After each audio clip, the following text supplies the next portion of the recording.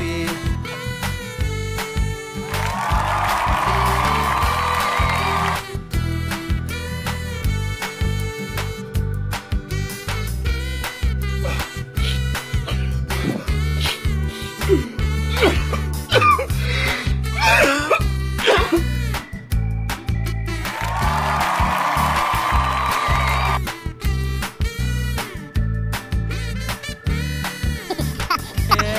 Single देवा मेरा पैसा डबल हो जाएगा ना?